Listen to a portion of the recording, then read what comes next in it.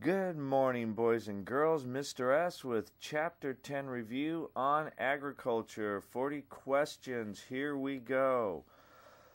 Look at the role of the difference between MDCs and LDCs when it comes to agriculture. Some of the key things of common differences of amount of crops produced per year and more importantly the income they derive from it.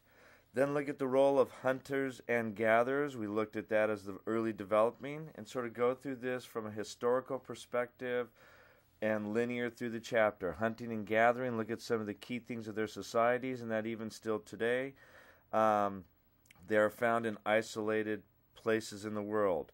When we start to look at domesticating uh, crops, plants, agriculture, the earliest form, we go back about 10,000 years ago, and the key place uh, or hearth would be Asia. More specifically, we can see the role of seed agriculture to come from Southwest Asia. Seed agriculture, Southwest Asia.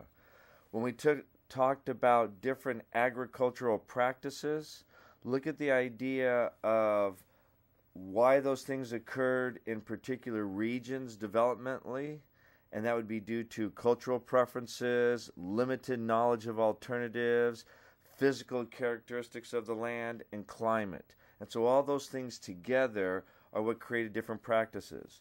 We looked at the role of what has helped MDCs develop commercial farms in the 20th century, and the advantage they have over LDCs would be things like scientific advances, electronics, transportation improvements. So look at those kind of things. And one of the issues, too, that helps uh, in the decline of farmland, especially in MDCs, is the idea of urban sprawl. We looked at different types of farming, for example, subsistence ab- agriculture. Please know what that is. Please know that um, we looked at three different types shifting cultivation, intensive subsistence farming, and pastoral nomadism. Then we looked uh, the idea of shifting cultivation. Where would you find it? What climate? What region? And that would be in a humid or low latitude where they tend to have high temperatures and abundant rainfall. That's why we can have the floods, the monsoons for that kind of agriculture. When we look at traditional uh, farmlands and preserving them, one of the key things that's looked at is soil quality uh, the largest percentage of the people in the world today farm through intensive subsistence farming.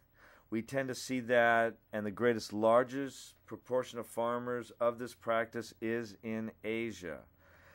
Know the steps of, of growing rice, from preparing seedlings in the nursery to flooding the land to plowing the land by oxen and then planting the seedlings in the flooded land um, when we looked at China and the different types of crops grown, one of the key reasons, especially for landmass as large as China, is their climate. Then we looked at nomadism or pastoral nomadism.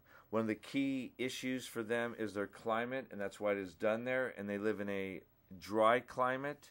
And this is normally territory or land that they occupy and own. They just move from one region to another.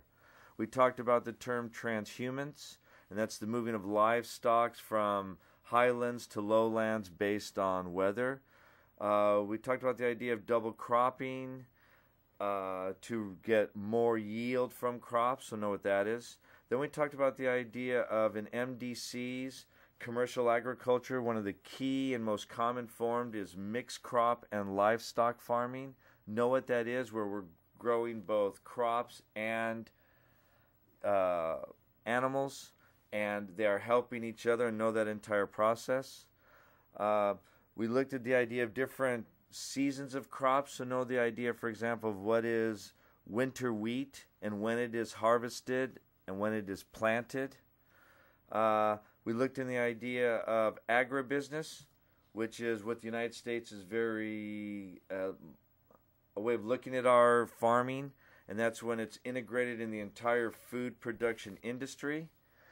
That's one reason why ranching has declined in this country due to uh, crops yield more profits than the cattle and easier to deal with in many cases.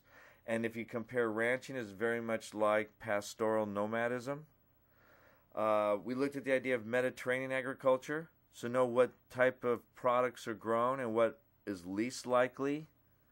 Much more fruits, cereals, olives, grapes, those kind of things. Um, look at the idea of why we use crop rotation and the idea of sustainable agriculture, where we use integration of crops and livestock. We don't use very many chemicals. We're sensitive to land management, um, those kind of things. Then we looked at von Thünen's model for choosing commercial farm products, and the whole key there is market location and how far from market can I have my products so that they won't perish before I can get them to market, and how easy it is to transport them to market. Uh, then finally, the last ideas is looking at some from some of the videos we looked at, and as the chapter also talks about uh, differences from MDCs and LDCs, what crops they choose to grow. Uh, one of the key things is both MDC and LDC farmers do have inadequate incomes. Um, less developed countries are more encouraged to sell their export or to export their crops, I should say, especially drug crops, and that's why drug crops are grown, even though they are illegal, because MDCs will pay more for them. And one thing to stop this increasing of the food supply is if we increase tariffs on grains, that will decrease our food supply and is not a good strategy for increasing food supply. So that's just about everything. Good luck. Make good notes. You can use notes on the test. See ya.